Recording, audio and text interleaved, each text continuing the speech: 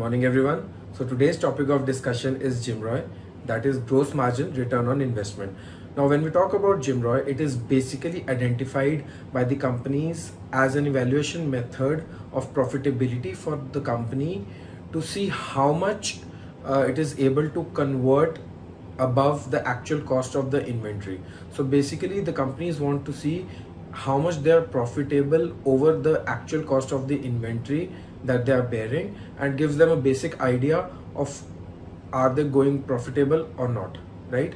Now when we talk about the formula of GMROI it is basically gross margin divided by the average inventory cost right?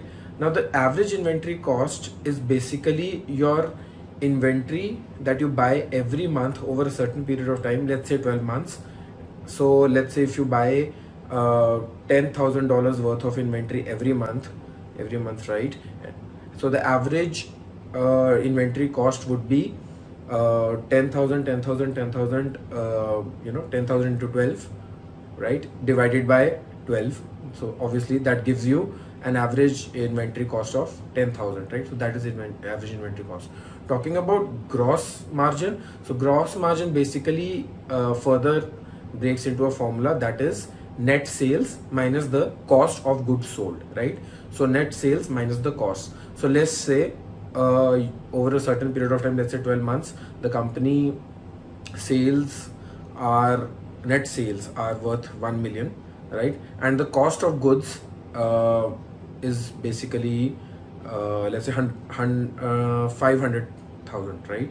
So that means the gross margin is net sales that's 1 million minus the cost of goods sold that is $500,000 which basically leaves out $500,000 as the gross margin. Now this gross margin divided by the average inventory cost will give you the GMROI that is a gross margin return on investment. Now when you talk about GMROI it is preferable that GMROI should be basically more than one because if it is not more than one that that means you are directly going into losses right? And as per company standards retail standards uh, GMROI more than 3.25 is actually preferable because if you remember we are just considering the COGS which is the cost of goods sold. That is the only the cost that is directly associated with the inventory in terms of its production. It does not include its uh, deliverability cost so the transportation then your retail costs your taxes and uh, employee uh, allowances. So all those costs are not associated in cogs right? So this is still not a perfect uh, profitability analysis when you say that's why it's called gross right uh, in the terminology. So yeah. So let's take an example to give you a more uh, conceptualized idea of how GMROI basically works okay? So let's say there are two companies. So company A the net sales is basically let's say it's 100 million right? And its cost of goods sold is 15 million. And its average inventory cost is 20 million. So 100 minus 15 divided by 20 will give you approximately 3.25 as a ratio of GMROI, right? Now this 3.25 basically means that for every one dollar that the company is bearing as cost of the inventory, it is earning 3.25 dollars.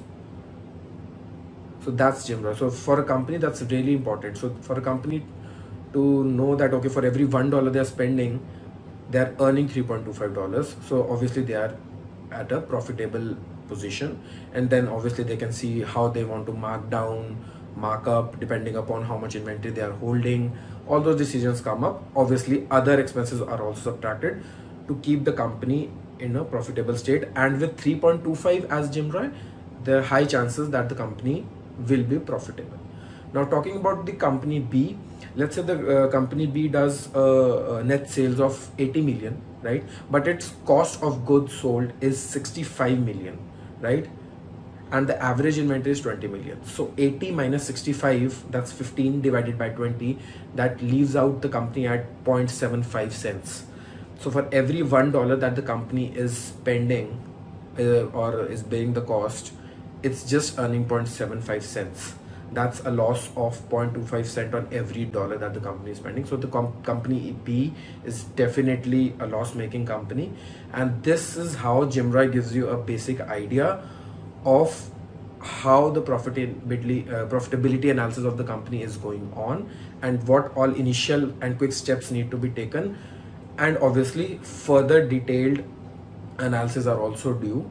And um, in the coming videos we would definitely learn about them.